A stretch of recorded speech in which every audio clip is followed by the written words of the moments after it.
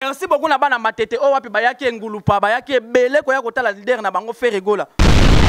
kuta modele wana nde tozoboya fere abeti concert des premiers sokoti concert bato bakotaki Fini les tracasseries en Europe pour vos envois de voitures, meubles, colis et toutes sortes d'appareils électroniques. La seule agence, c'est JNT Service. Jésus-Christ est notre trésor. Nous sommes au 58 boulevard des Allemands, 77 000 Moulins, France. Nous transportons vos colis de la France, Allemagne, Belgique, Hollande, Espagne, Italie, Suisse, Turquie, jusqu'à Congo RDC Kinshasa, Congo Brazzaville, Angola, Luanda. Pour nous contacter,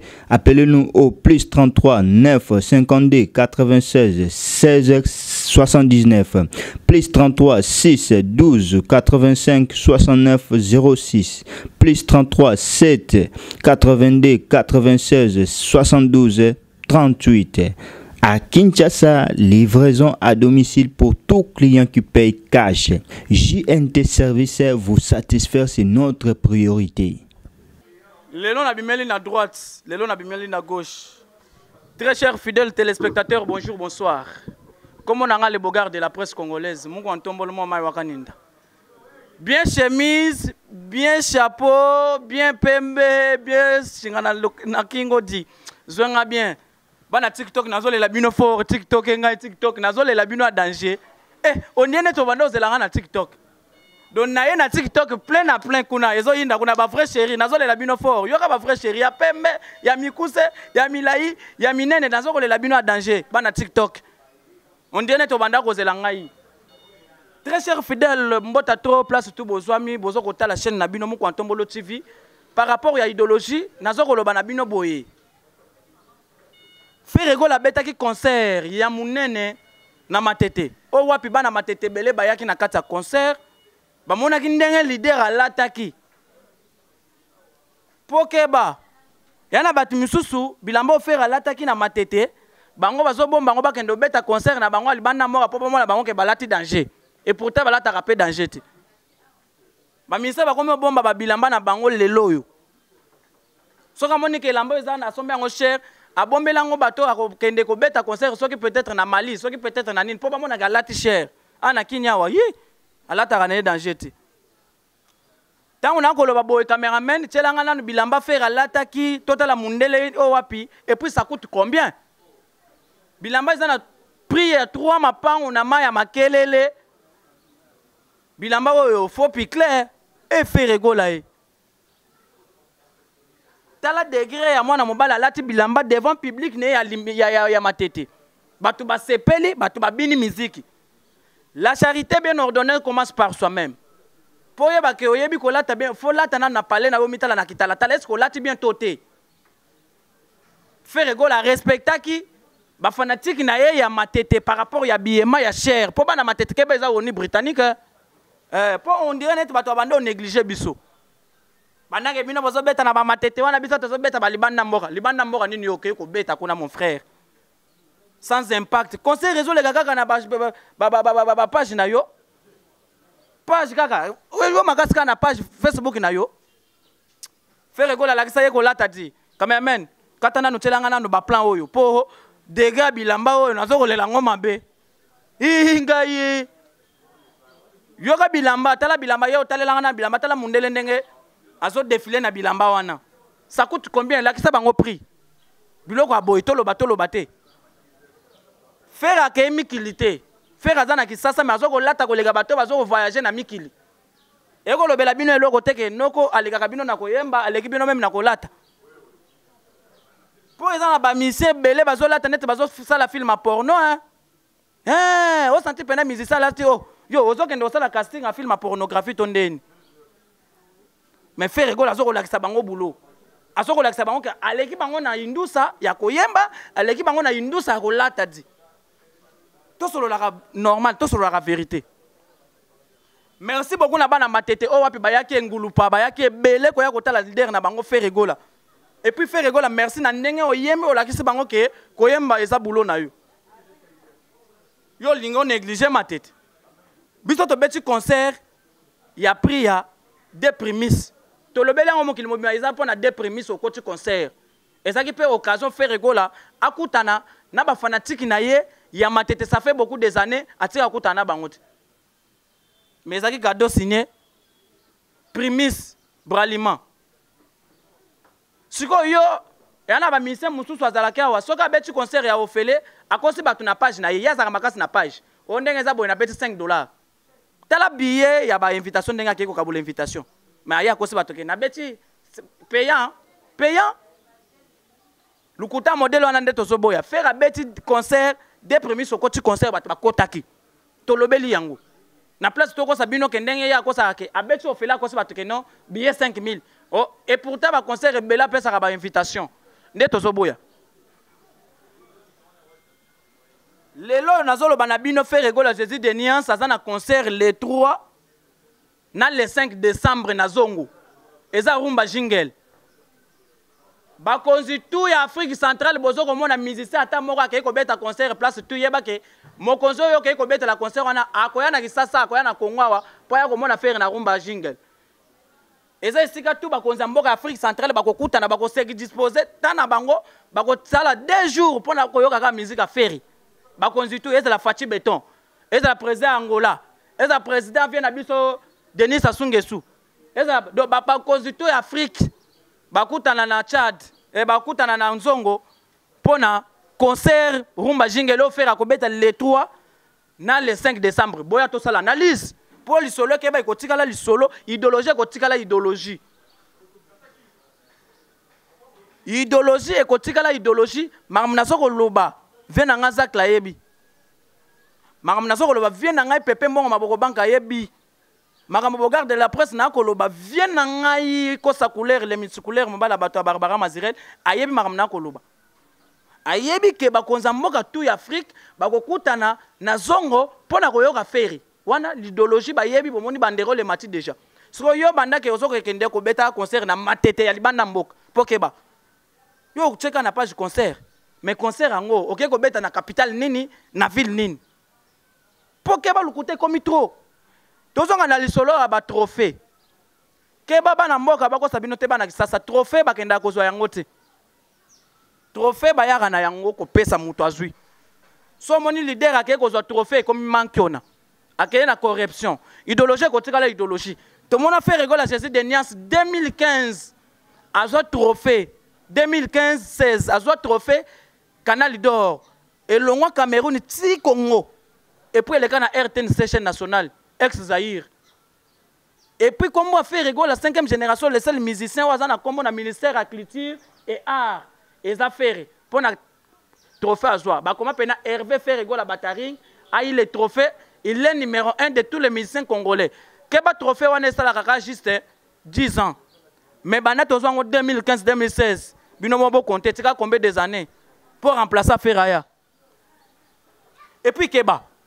lisolo ya batrophée ya mbrie bagolois te golois bokipe makambo ya batrophée te tokondimela trophée oyo wapi batrophée ekomi osalema na bamboka tout ki meilleur artiste africain oyo tokowelela yango na banani o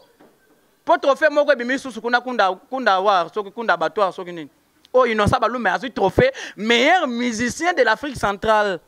inonce bi atomboli bendele wana kunda dor kunde dor soki kunda soki kunde soki nayebi te soki nakobenga yango kunde ou bien madesu bien ndeni eya na trophée moko mpe ebimi kuna na afrima meilleur musicien de l'afrique centrale abimi kuna ndenge toza boye tokomi na opération batrophée mboka na mboka ifo organise trophée e eh, ngai bana kabeyaka mwanga bozolala bosala bino trophée di so bopesa yango lelimba obe bopesa yango cala mwana echangea te mpo mboka na mboka ekoma osala batrophée so trophée nini oyo wapi biso tokondimela mpo afrique du sud ezo koorganize trophée lisusu bobosana te kini malebo awa brazzaville bazosala trophée tokobanda kondimela trophée nini ya kimeilleur mpo kimeilleur yango ekomi ondire soki matamba ondire mpena dilombulombo ondire mpena cibelabela kaka boye do osanti mpena o oh. ki numero 1 tokobanda kowelela wana banani mpo kuna numero 1 mboka babimisi numero 1 mboka kuna trophée ya kingani tondimela oyo oh, wapi chance vie na biso ya montfleuri aloba trophée basombaka yango tosembo mba liso evwandisa staff malubo mboka na montfleuri nazokolela bino mabe bana tu bana mikili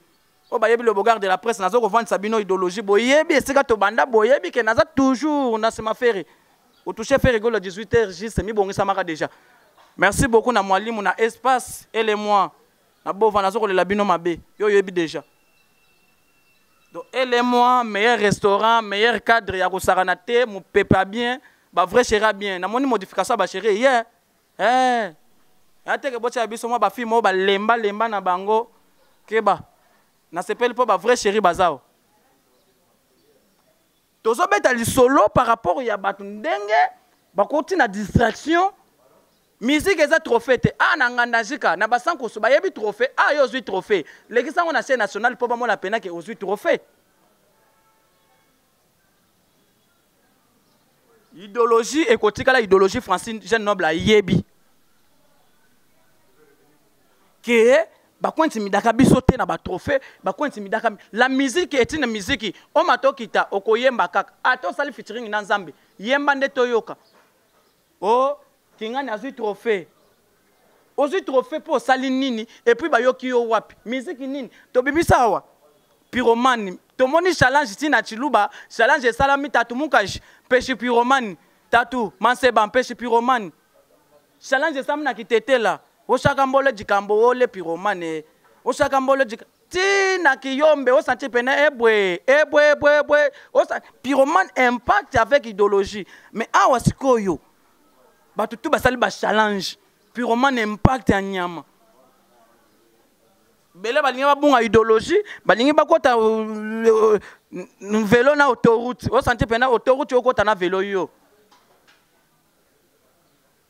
mbanga ekotikala mbanga keba mbanga efutaka epuis na ngai mbanga na ngai ti lelo ezofuta bino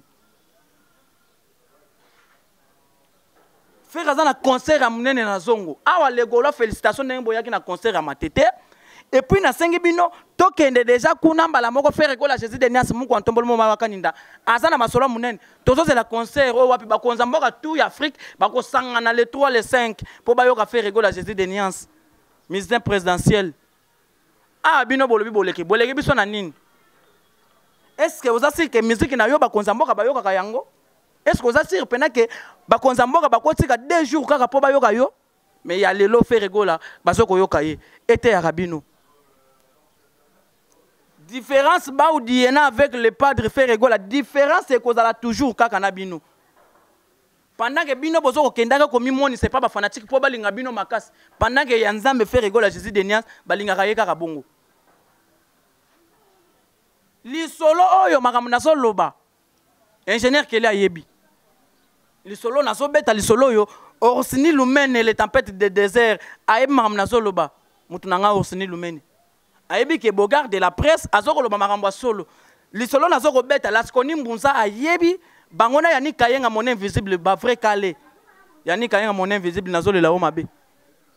lisolo naza kobeta ans luzolo le meilleur comédien de l'afrique centrale et puis meilleur comédien international le patron de tous les comédiens congolais oyo wapi aza kodefendre mboka na biso sur le plan comédique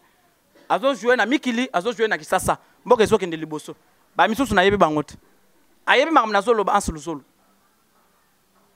lisolo nazo kobeta sediki makela moninga ya bato ya engai ye yo oyebi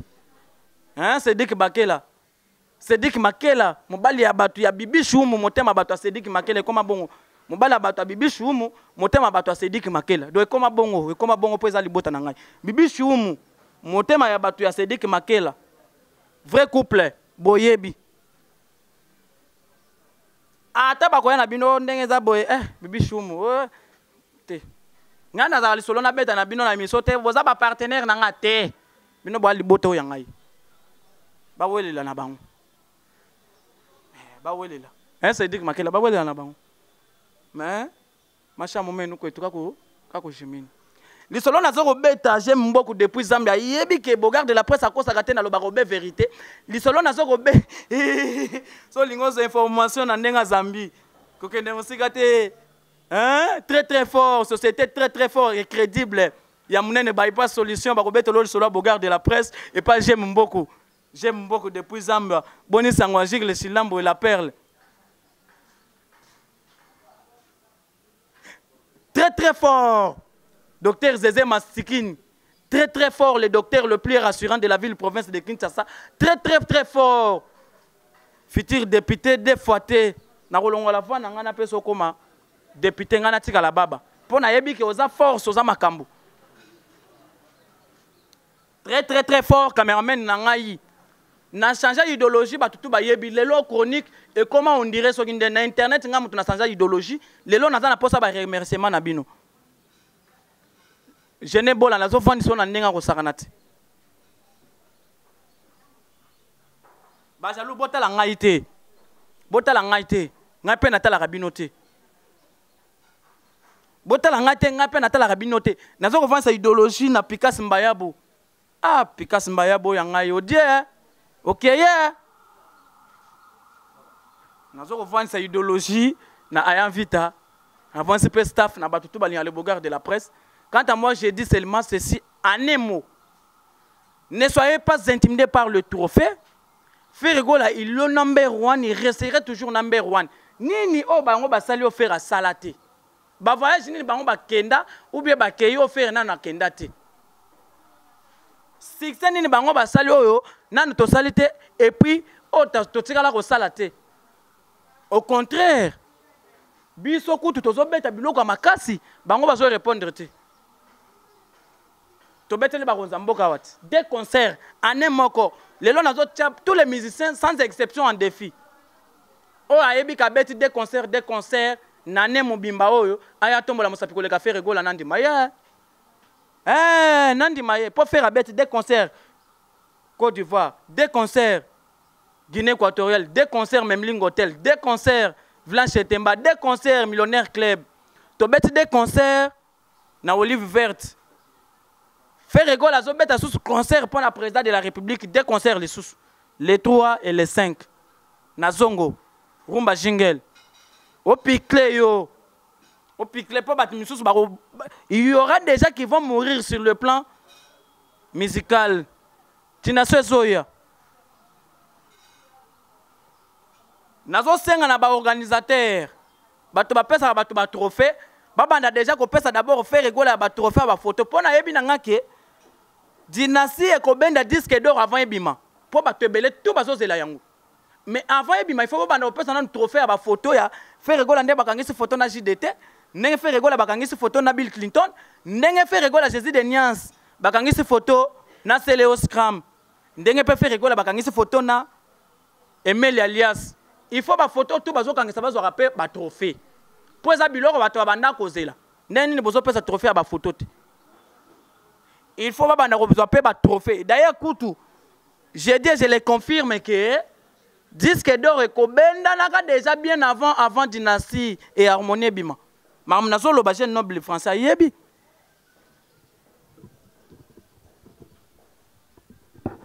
bozala calme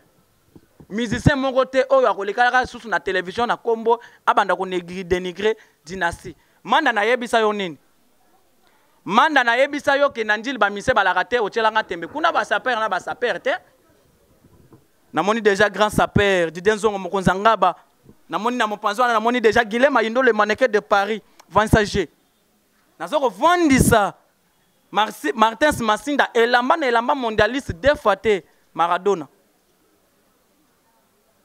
Manda ofete anniversaire omoni ke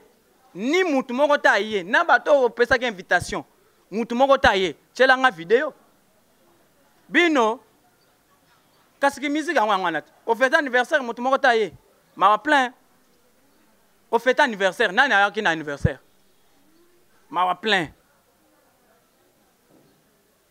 bino bino bino bino bino pena yo yo manda yo leki fere na kidanger bakumisa yo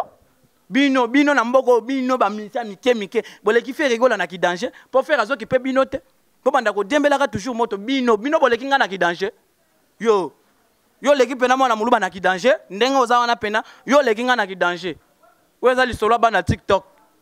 likolo na bangaka nzambe na se na bangaka mbwa eteya bino bana tiktok nazolela bino ya danger tala tokomi na so ya emission na biso vie na nga duduka malandwa navandisa je staff nakovandisa staff